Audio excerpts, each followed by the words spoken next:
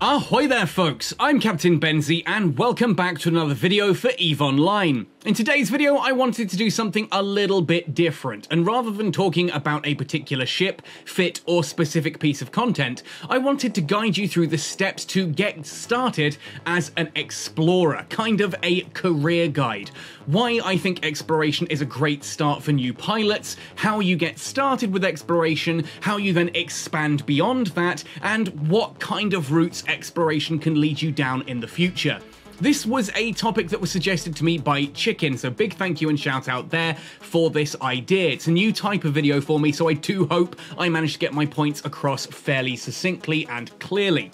Now, because I've covered a lot of the bits and pieces, the minutiae, I suppose, of this topic in other videos, there will be a lot of points throughout this where I pause and kind of say, go watch this video for more information or that video for more. This isn't me trying to just promote my own content. It's a case of I'm putting this video forth and I don't want to double up for those of you who've already watched that, but I do want to explain that full detailed guides are there for those of you who need it. Now, I'm going to be showcasing this with a Minmatar probe on screen right now, but the information that we're going to talk about is going to work whether you've rolled Minmatar, whether you went Amarr Gallente or Caldari. There's very little difference between your starting as to where that can lead you. It's just a few minor skills here and there, depending on where you decide to go with that. Now, hopefully by the end of this video, you'll have a full-on understanding of how to get started as an explorer, and then where this can lead you going forward. And if you do find it useful, then please hit like on the video and drop a comment down below. Both those things help me out massively by kind of recommending my content on YouTube to other players. And of course, if you know anyone else who wants to get started in exploration, link them this video, share it. Sharing is caring, as they say. If you do want to go the extra mile to help support this kind of content financially, I've got a Patreon page, a PayPal tip jar, and a Redbubble merchandise store, and there are two links that might really help you out as an EVE Online player as well. In the description, you can find a link that will take you through to my referral code. If that's the first referral code you've ever used, doesn't matter how old your account is, you get 1 million free skill points, and it does give me a minor kickback as well, so thank you very much. And you can also come join the Catskull Community Discord. Excellent place to meet a bunch of like-minded EVE Online players, chat with people about the game, talk with me directly, and if you are interested in joining the Catskull Cartel Corporation in-game, that's where you apply as well. So do hit that up in the comment in the uh, description down below. All of that said and done then, let's jump right in to talking about the Explorer career path, how to get started, how to progress, and where this can lead you. Now, as with any of the career paths, the best place to get started is of course the career agent missions. After the tutorial, you'll be dropped off in one of your race's three starting systems. There'll be career agents that teach you everything from how to be an enforcer, soldier of fortune, industrialist, and explorer. I do strongly recommend running all of those missions, all of the career agent mission lines, and probably doing them multiple times through your different areas. If you've done all of the ones in the particular system you're in, every single one of the races does have three different hubs that you can go to, and so you can do those missions again. That'll get you a load of ships, a load of ISK, some skill books, modules, things like that to get you started, and having done it all three times over, it should be pretty much ingrained in your head. That said, if you have forgotten a lot of it, I do have a video on basic scanning and one on basic hacking as well, just to get you started with exploration as a concept. Once the career agent missions are done, however, your next port of call is the Air Career Program. And if you click into this, it'll give you this wheel here. Again, I've done a full video detailing how this all works, um, so do check that out as well. I'll put links in the description for all these videos if I can't get cards going along the top. This is going to show you everything, or rather the basics of getting started as an explorer, introduce you to some new types of content, and get you to sort of undock and get out there and give it a go. A lot of this is stuff that perhaps you might not have considered otherwise. It's very easy in any of the career paths to kind of go, oh well, for Enforcer, for example, to undock and just start doing agency missions and go, oh well, this is what, uh, you know, being an Enforcer is about.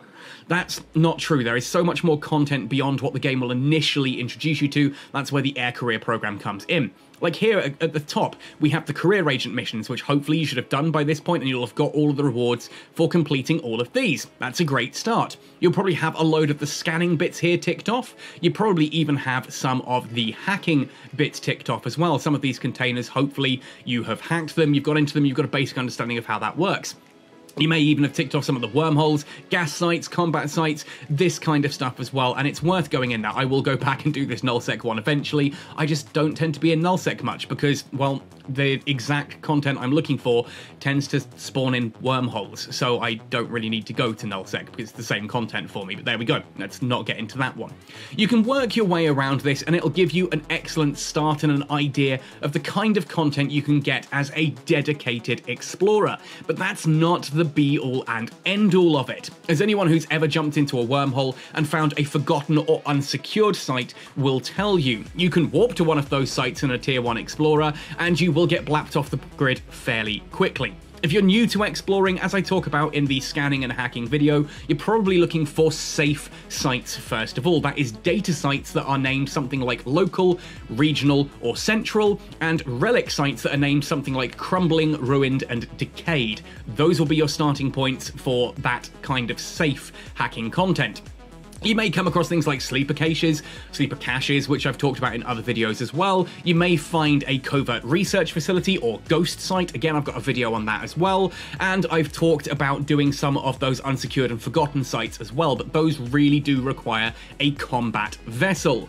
And starting off as an explorer, you can very easily just go deep into exploration and focus exactly on that. I know a lot of folks in Catskull did exactly that. Started off as just an explorer, finding safe relic and data sites, and that's where they started to amass their first fortune.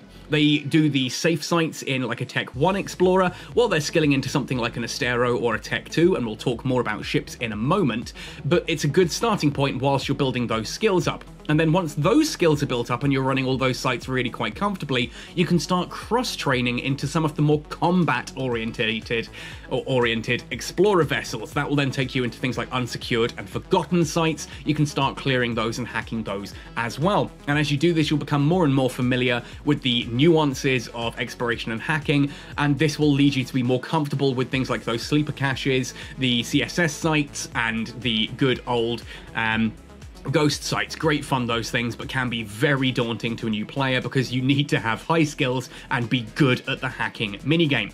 Now that brings us nicely to the discussion of skills, right? Well, let's open up the skill window and we can talk about this.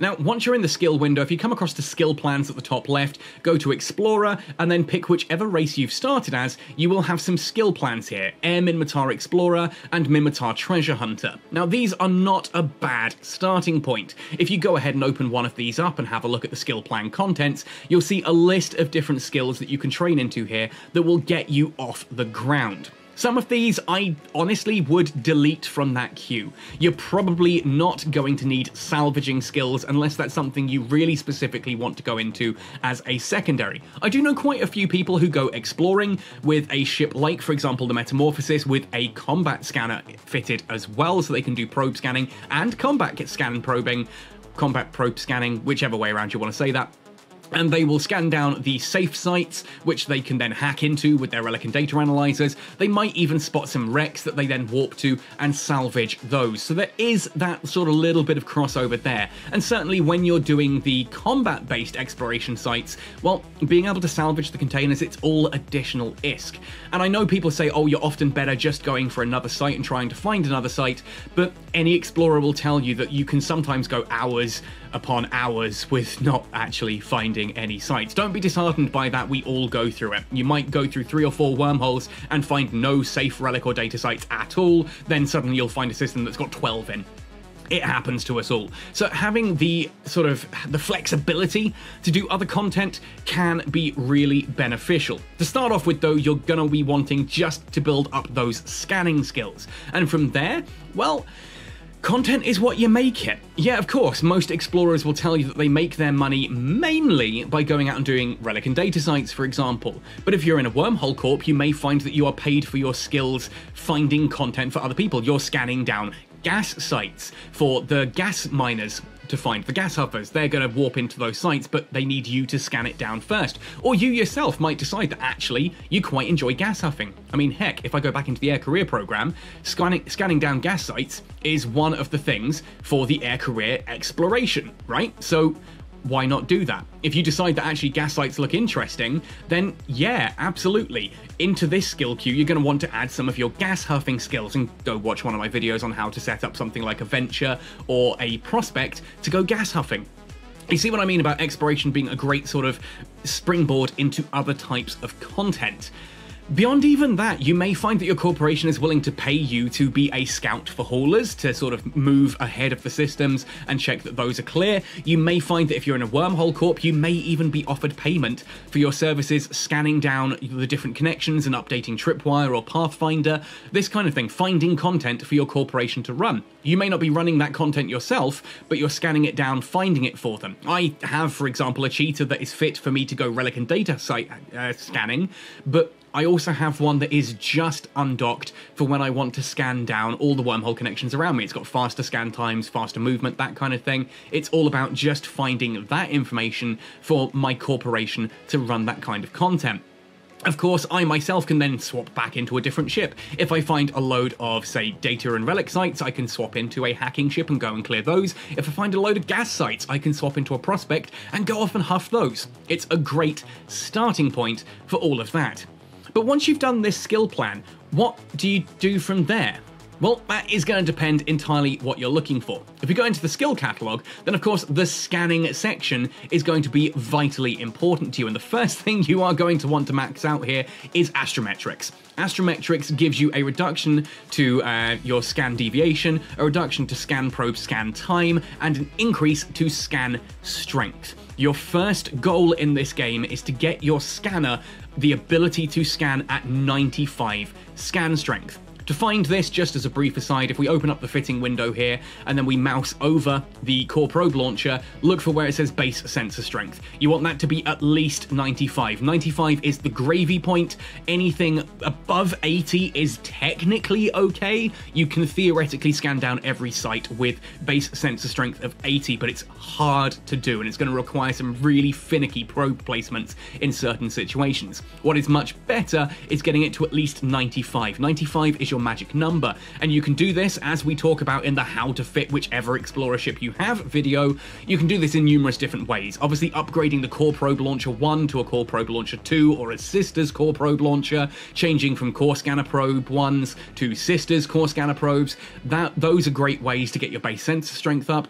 The ship you're using can have gravity capacitor upgrades fitted. You can even use range finding arrays to increase that as well. And so that is going to be how you reach that magic number of 95. Using your astrometric skill, getting that to at least 4 as quickly as possible is going to be a great start to that. And if you're going to be doing the relic and data sites, you're going to want hacking and archaeology to at least 4 as well ideally getting those up to 5 as quickly as possible so that you can use the Relic Analyzer and Data Analyzer 2 modules. Those two modules will change the game for you as a hacker archaeologist because you'll be so much more equipped to get into those different containers. You'll have better strength, better cohesion. They are just vastly superior modules that will unlock a wide variety of content for you to do. Like, seriously, don't even consider a ghost site until you have hacking at 5. You just will not be able to do it properly. So yeah, strongly recommend getting those up. Once those three skills are up, you can kind of be dabbling in acquisition, pinpointing, and range finding en route a little bit, because of course the fifth level of astrometrics, hacking, and archaeology are long skill trains you can dabble into acquisition, pinpointing, and range finding a bit. I would probably still get archaeology and hacking to 5 first, then come back, top these up, and then go into astrometrics 5 before getting these up. These are essentially the astrometric skill, but spread out. It's the astrometric skill again, but then spread out. So if you've got astrometrics 5, you're going to have 25% better scan strength, 25% reduction to scan deviation, 25% reduction to scan time, whereas if you then have these to 5, you've got an additional 25% uh, pro probe strength, an additional 25% reduction to deviation, and an additional 25% reduction to scan time. They're not as vital. Certainly, the way I've always done this is I get astrometrics to 4, I get hacking and archaeology to 5, I then get these to 3, then astrometrics to 5, range finding to 5, and then bring up the other two after that because they're just not as important. They're more a quality of life, faster scan than they are actually fixing things.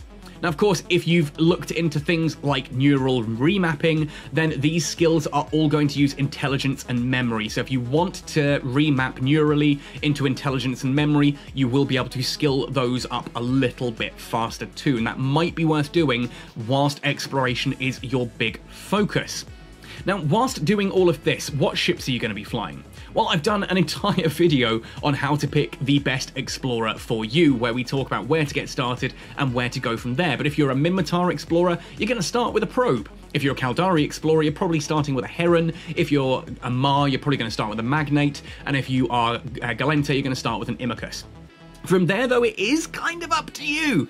If you decide you really like the look of the probe, for example, but you rolled an Amarr, then it's not difficult to train Minmatar Frigate up to whatever skill you need, like four or five, preferably to five they're frigate skills. They're not a huge gateway, but bear that in mind because whichever one you go for is going to open up different ships. Once you are fairly comfortable using something like the probe, you can upgrade to a probe fleet issue. This is more of a faction warfare combat oriented vessel.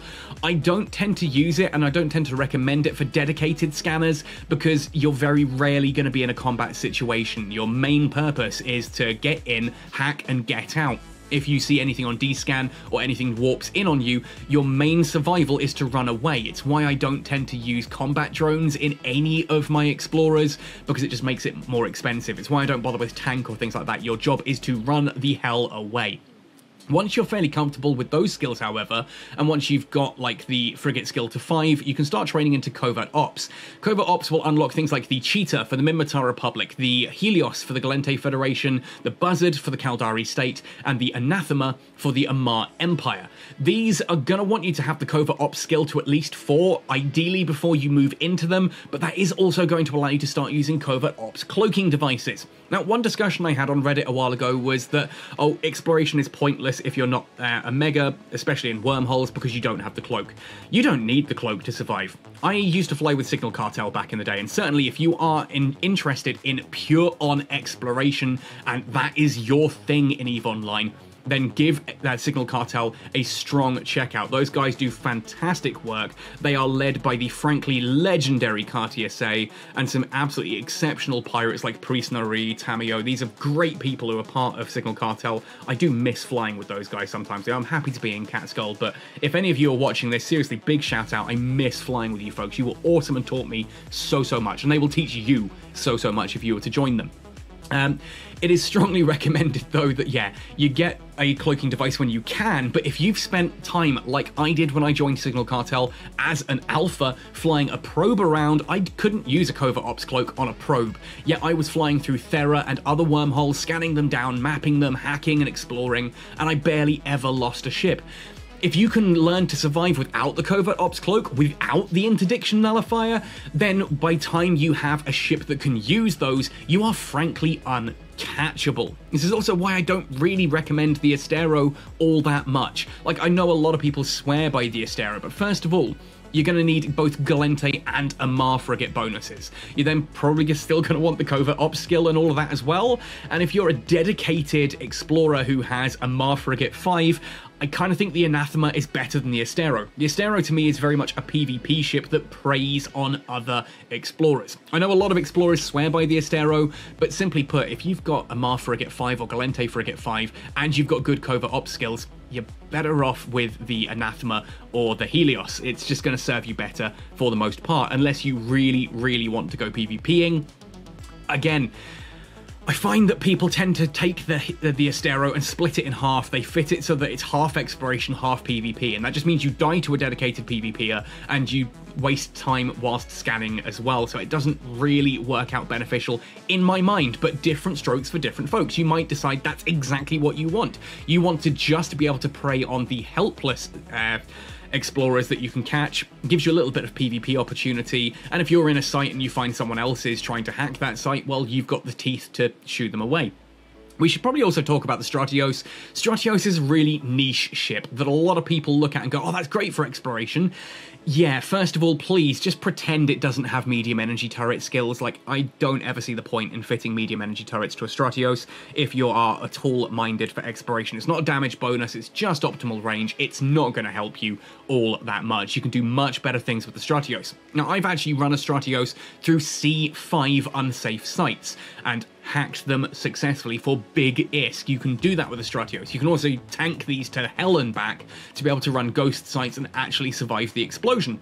I've seen people do the same with the Stratios or a Gnosis, where they warp a fleet of them in, like four or five of them, into a ghost site at the same time. Everyone goes after a container, they then all warp off safely. That's another great way to do that because you don't have to worry about someone accidentally triggering the explosion and you all losing your ship a, a, brief aside should be also given out then, as I said, to the Gnosis. That can have its niche place as a scanning ship um, in certain situations. I don't recommend it as a base scanner, same as I don't really recommend the Sunesis. It kind of makes up for the lack of skills, but it doesn't do what you need to, and I'd rather just focus on the skills, if that makes sense. Same with the Metamorphosis, though. Metamorphosis is actually genuinely a good ship if you have one. That can be an excellent scanning ship if it fits your needs. What about combat scanning though? I've mentioned those unsecured um, and fortification, uh, the unsecured and forgotten sites, well, that's where something like a Tech 3 strategic cruiser comes in. The Loki, the Proteus, the Legion, or the Tengu. You can fit those to be cloaky and have the scanning bonuses. They can hack those sites up to C2 and still run them, clear them comfortably of all of the enemies in them, then still have the capability to hack the sites as well. I've got a Tengu that I use primarily for doing that. Recently sold that off. I now have a Loki that does it. The Tengu's featured in the video. The Loki might be in a video by time you're watching this. Do check check that out. I haven't made it at the time of me making this one, but it's a Loki that can run C1 and C2 um, unsecured and forgotten sites, clear those out, and then um, hack the containers afterwards. Also, great little ships if you want to clear out gas sites, for example. You can scan down the gas site, warp into it with your Loki, Tengu, Legion, or Proteus, clear out all of the rats in there, and then suddenly all of your huffers can come back in and huff away to their heart's content. Now, there are probably some other ships around the ship tree that are pretty niche for this as well. With good enough skills, you can actually fit, say, a Vagabond to have good scanning skills and be able to run every single one of the C3 sites, including the Forgotten and the Unsecured.